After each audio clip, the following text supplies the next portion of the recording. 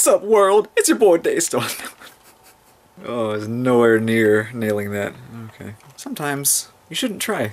You should just give up. Apparently, orange thin mints exist. Uh, orange mint sounds fucking incredible. If that's what that means. Unless it's just orange flavoring in the shape of a mint, but that wouldn't make sense, right? There, there has to be mint in this. Yeah, there's mint. Sweet. I've never had orange mint before, so that sounds delicious. And we're gonna follow it up with some peach oolong. I love oolong. So, this just sounds like an all-around good time. Well, last time I committed to something absolutely tasting good for sure. I had to kill myself. Um, so I'm not gonna say anything like that this time. But it seems promising. I don't know.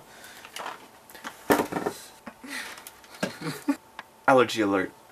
Contains soy, milk, egg, manu.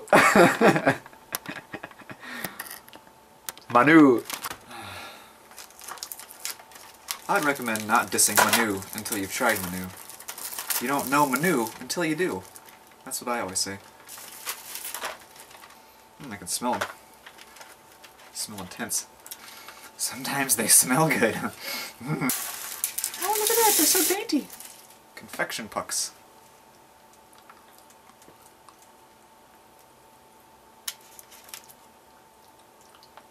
The texture of the filling is, uh... Have you ever had those tiny little uh, Hi-C fruit candies? That's what the filling has the texture of. Hmm. I can't really taste the orange. I can taste the mint, that's for sure. Oh, that's a weird color.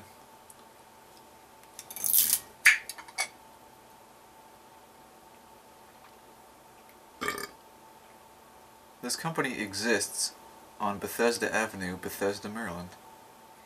I forgot to check it. Let's read the instructions. There's a, a website for Berkeley Breathed on the side of this. And they talk about Opus.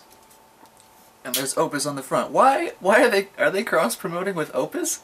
A tea company is cross promoting.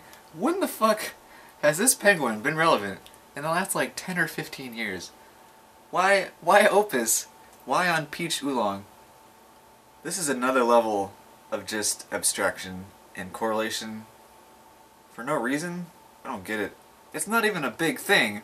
It's just so small and inconsequential, but so arbitrary. So just like, well, like Pepsi at the Super Bowl I get. Opus on an Honest Tea bottle? I don't, I don't get it. It's very slightly sweet. I can't really taste the peach though. I looked at this for a second and I thought it said Zactuary. Like a person named Zach that can tell the future. This was just... This was just something else. Wasn't it? Thank you for joining me. I had a lot of fun here. Remember to spay and neuter your pets. That's it.